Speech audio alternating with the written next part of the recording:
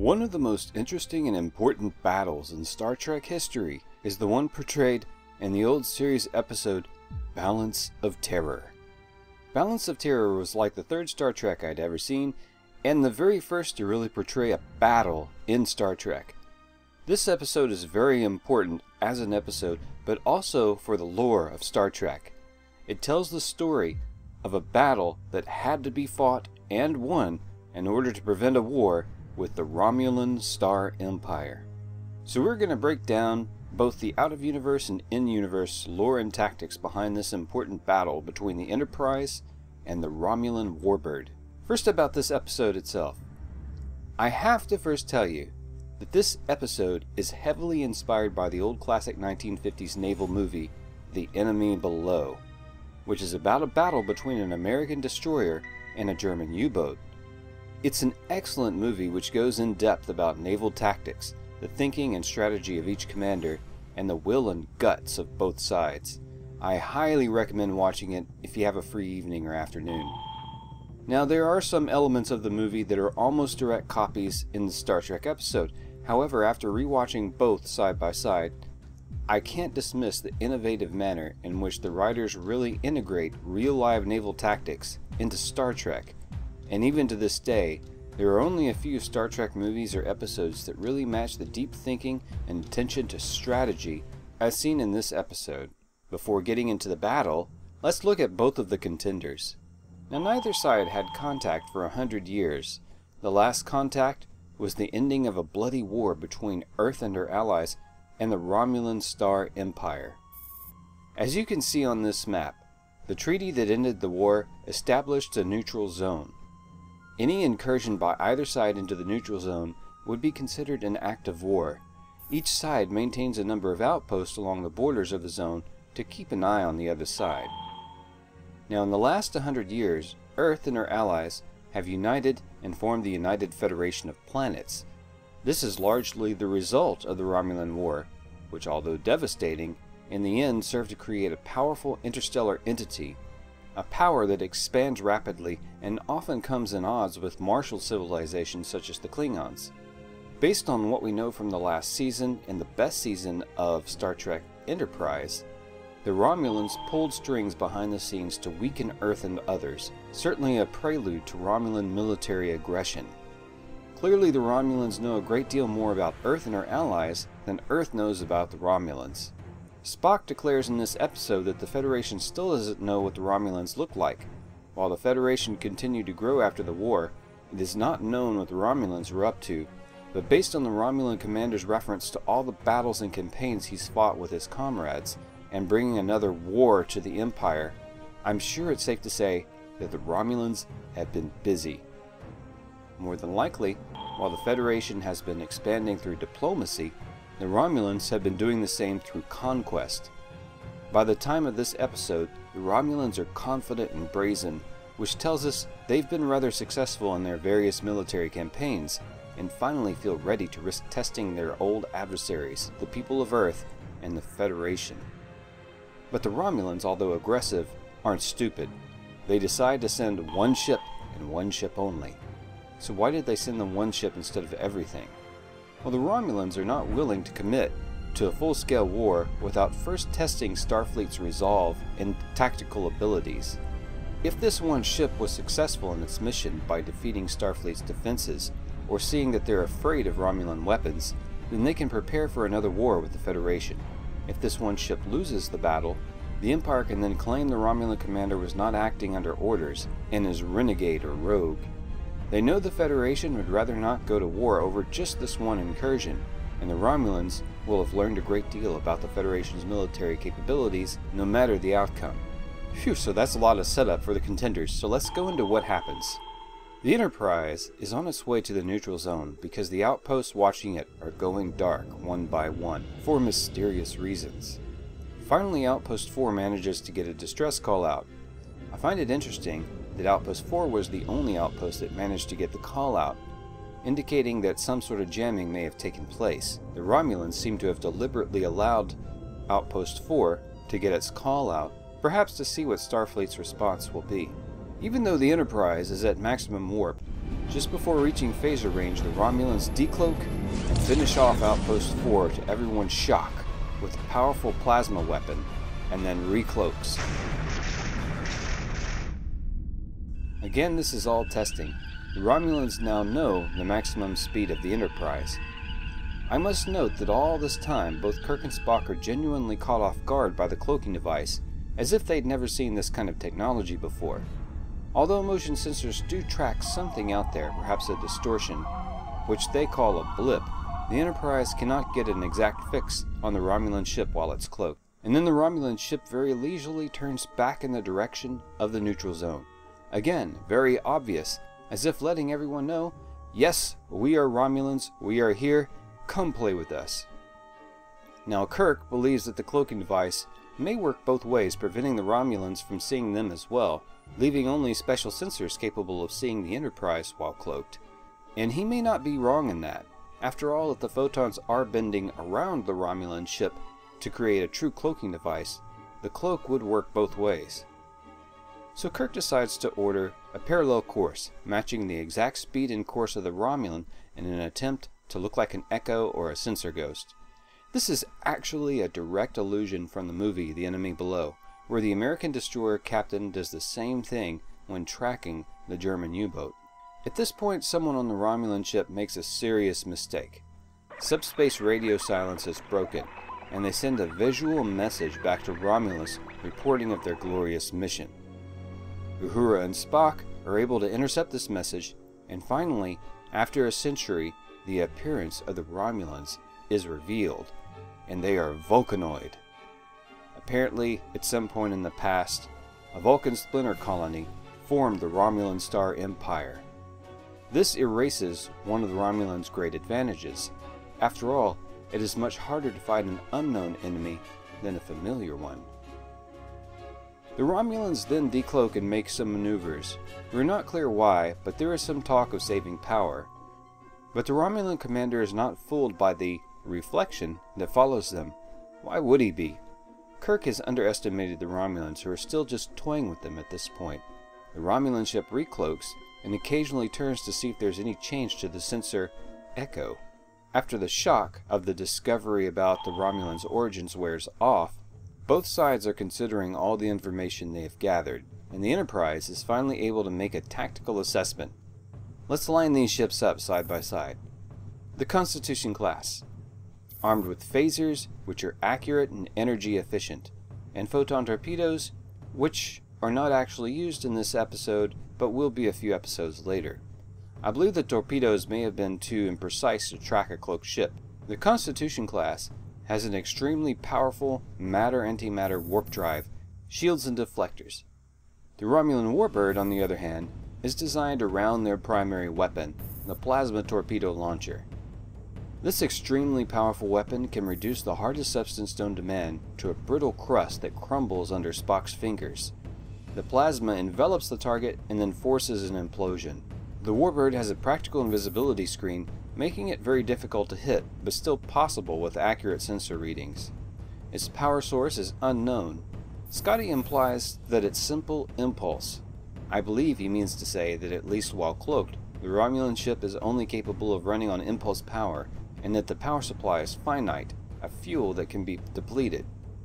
Of course, there can be no doubt that it has some sort of faster than light travel, or it would have taken it decades or even centuries to even reach the neutral zone.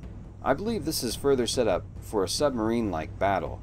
The Enterprise's warp drive is analogous to the diesel engine of a World War II destroyer, a powerful and fast propulsion system, while the Romulan Warbird's power, when cloaked, is similar to a U-boat's battery's power when submerged, limited by charge, and much slower than a diesel engine. And of course the Romulans must decloak to fire their weapons. So we have two very different ships with very different tactical abilities, and this is an excellent matchup in my opinion. After some discussion, and assertions by Spock and Lieutenant Stiles that the Romulans are likely to start a war with the Federation if weakness is shown. Kirk decides to fight this battle to prevent a larger conflict. I totally agree with his decision. Sometimes battles or even wars must be fought to prevent larger conflicts. The next plot element is fantastic, and perhaps one of the more innovative parts of this battle. The Warbird is changing course for a comet. Kirk sees a chance to attack, knowing the Warbird will leave a visible trail when it goes through the comet's tail, giving the Enterprise a target to shoot at. But it's not what Kirk thinks it is. Kirk in this instance is overly anxious to catch the Romulan before it escapes back into the neutral zone, and didn't stop to think why the Romulan would head for the comet in the first place. The Romulan intends to use the comet as cover to conceal a U-turn back onto the Enterprise where he will suddenly attack. But the Romulan also misjudges Kirk, who capitalizes on speed and swings around to the other side of the comet where he intends to attack when the Romulan comes through the tail. The Romulan commander suddenly realizes Kirk's intent, orders evasive at the last second, but the Enterprise also loses its opportunity to fire at any trail the Romulans have left. Not all is lost for the Enterprise, however. The Enterprise aims with sensors and attacks anyway with phasers. Now I want to say something about the nature of phasers here. Stiles clearly states that the phasers are set to proximity blast. This is pretty much the first time we see their use in space combat. In this special mode, rather than beams, they are fired in bursts, and on the receiving end they act a little bit like depth charges. But over the years we've seen in Star Trek all manner of phasers. Some are beams, some are pulses, some are like bolts, and sometimes the same phaser system will fire in two different ways. Phasers, although probably over-engineered, are very sophisticated and versatile weapons. In this case, an expanding phaser burst towards an invisible target would have more chance of hitting or doing some kind of damage, course, such a burst would dissipate a bit quicker, limit its range, and would be less potent overall. But this is the appropriate mode needed for hitting a cloaked Romulan ship that isn't easy to lock onto. Anyway, the Enterprise is able to rough up the Romulan warbird enough to cause the Romulan some distress with this less than optimal attack. And then, disaster strikes. As I said, perhaps phasers are a bit over-engineered and aren't intended to operate in this manner. The phaser's overload and a control circuit burns out. The timing couldn't be worse. The Romulans decloak and fire on the Enterprise.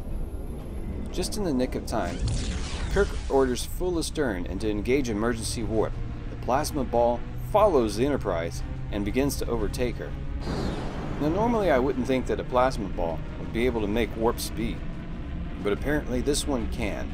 Either this weapon is working as intended, or it is possible, either by design or by accident, that this plasma torpedo was caught up in the Enterprise's warp field and drug along at warp speed. Luckily, plasma torpedoes lose their potency over time, and by the time the plasma hits, there is minimal damage to the Enterprise. At this point, the weaknesses of the Romulan warbird are becoming quite apparent. The Enterprise closes easily again and continues to fire phasers on proximity blast. If there is any sign of the Romulan decloaking, the Enterprise can simply outrun any torpedo attack and or use a phaser blast to attack the torpedo itself. While the Romulan ship has a finite amount of power, it cannot continue to maintain its cloak, but Kirk pursues the Romulan into the neutral zone and continues to attack. The Romulan commander has lost the tactical advantage, and the constant phaser barrage is getting under the Romulan skin. They must now resort to trickery to get the phasers off of them, and eject a debris field, enough to distract the Enterprise's sensors. They then stop moving. While Spock does realize that this is a trick, he's also lost all sensor contact with the Romulan ship. The Enterprise has lost the Romulans. A waiting game then ensues, for hours. Both sides know the other is still out there. Spock, while working on the phasers, accidentally powers up a sensor on his console and gives away their position. The waiting game is up. The Romulans have regained the advantage and move towards the Enterprise, still undetected. Kirk is brilliant in this instant and turns their blunder into an advantage, having already predicted that the Romulans are already moving towards them he simply reverses course and fires at the Enterprise's previous position to score some hits on the Romulans. But the Romulans have one final trick up their sleeve. They eject more debris, and within the debris field, they sneak in a nuclear mine. The Enterprise detects it at the last minute but not before the blast from the weapon hits the Enterprise with loads of gamma radiation, like you'd see from a nuclear blast. This shocks the Enterprise, rendering it helpless for some moments. But this is where the Romulan commander makes his most fatal mistake. He doesn't take the opportunity to finish off the Enterprise. I must comment here that I really prefer the Romulans as opponents to the Klingons. With the Klingons, you mostly know what you're gonna get. The Romulans are far more complex and intellectually intriguing. This Romulan commander is very war-weary, unlike his subordinates. Although he is competent and experienced, whatever the conflicts the Romulans have recently been involved in, this Romulan has clearly endured some personal losses. It's hard to not like this Romulan and actually feel something for his plight. As an audience, we want him to have a fighting chance. But after the Enterprise recovers, the same old game continues. The Romulan subordinates Decius, to his credit, goads his commander into doing the Romulan thing, to fulfill his duty and attack again. And here again, we see the flaw in Starfleet weapons. Over-engineering, too many things can go wrong. With Klingon disruptors, they're crude, but you know they're going to work every time. With Romulan plasma, same deal. It has its limitations, but you don't have to worry about silly things like circuit burnouts and coolant leaks. The phaser control room has been contaminated with a coolant leak, rendering the Enterprise defenseless while the Romulans zero in on their prey. Had it not been for Spock's heroics, who gets the phasers charged up in spite of the leak, the Enterprise would have been destroyed. Now here's a small spoiler about the movie The Enemy Below. That movie ends with both commanders saving each other's lives from the burning hulks of their respective vessels. In this case, the Romulan commander knows he will be dishonored if he allows himself to live, or his vessel to be captured. He acknowledges Kirk's offer for aid, declaring that they could have been friends in another life, with no countdown at all, he triggers the warbird to immediately self-destruct. A glorious and honorable death for a true Romulan. This tells me that in many ways the Romulans have an honor and duty code that rivals the Klingons in spite of their reputation for treachery. But in this battle, the Enterprise was at risk of being destroyed on at least three occasions. It could have easily gone the other way. I love how this episode occasionally drops what appears to be unpredictable, random plot elements, for better or for worse, like the phaser burnout, the coolant leak, and the Romulan commander's war weariness. All of these are unpredictable elements that take place in real combat. No matter how much Sun Tzu one reads, or how good the tacticians are, battles in war is a very messy and unpredictable business. Amazingly, the Enterprise came away with only a single casualty, when at times the entire ship was in danger of being destroyed. The Romulans would not start a war that day, but the defeat would later push them to develop their technology further and into a brief alliance with the Klingons. In short, this battle, having prevented a war and spurring the Romulan-Klingon alliance briefly, would have an impact on the quadrant that would last for decades. Thank you for watching Space Friends! Be sure to like and subscribe and comment. Do you think the Romulan commander would have destroyed the Enterprise if he weren't so hesitant? What would have happened if the Romulans had actually won this battle? Also, special thanks to new crewmates on Patreon, The Awkward Screw, and, as of now, Jean-Luc Martel has edited his pledge to a higher amount. YouTube ad revenue is finicky, but donations and Patreon support tell me you want me to keep going, and so I shall. Until next time, Starship Crews,